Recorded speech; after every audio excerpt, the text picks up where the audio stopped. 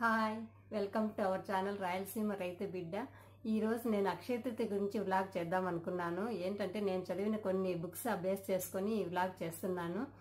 ఈ క్వారంటైన్లో మనకి షాప్స్ బంగారం షాప్స్ ఏమీ ఓపెన్ చేయలేదు కాబట్టి మనం ఎలాగబ్బా ఈ- ఈ సంవత్సరం బంగారం కొనడము అని అందరూ టెన్షన్ పడిపోతుంటారు. అందుకే నేను ఈ వ్లాగ్ని ముందే రిలీవ్ చేస్తున్నాను.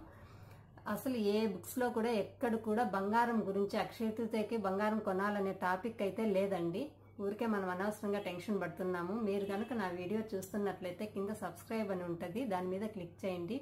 పక్కనే గంట సింబల్ ఉంటుంది. దాని మీద క్లిక్ చేయండి. నేను చేసే ప్రతి వీడియో మీకు నోటిఫికేషన్గా వస్తుంది. ఇంకా మ్యాటర్లోకి వెళ్ళిపోదాం.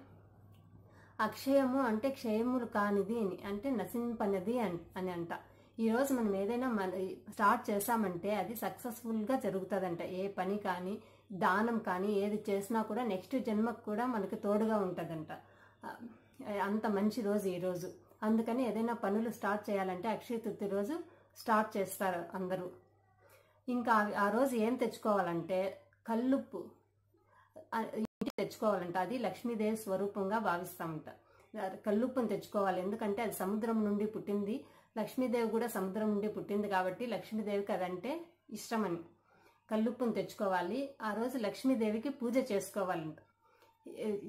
లక్ష్మీదేవి ఫోటోను బాగా శుభ్రంగా తుడిచి అలంకరించుకొని మనకున్నది ఏదో ఒక చైన్ పాలలో క్లీన్ చేసుకొని దేవుడికి అలంకరించి మనం తెచ్చుకున్న కల్లుప్పును ముందు పెట్టుకొని తర్వాత ఆ కల్లుప్పు మనం వాడుకోవచ్చు కూరలకి. కానీ నాన్ వెజ్కి అయితే వాడకూడదు. వెజిటేరియన్ కూరలకంతా వాడుకోవాలంట. దేవుడికి నైవేద్యంగా పాలతో చేసిన ఏదైనా తీపు స్వీట్ ఐటమ్ ఏదైనా దేవుడికి పెట్టుకోవాలంట పాలతో. మనకు నచ్చితే పాయసం ఏదైనా పాలతో చేసి పెట్టుకోవచ్చు. లేదంటే పాలలో కొద్దిగా చక్కెర వేసి అదైనా నైవేద్యంగా పెట్టుకొని కనకదార స్తోత్రం కానీ లక్ష్మీ అష్టోత్తరం కానీ చదువుకుంటూ ఆ రోజు పూజ చేయాలంట.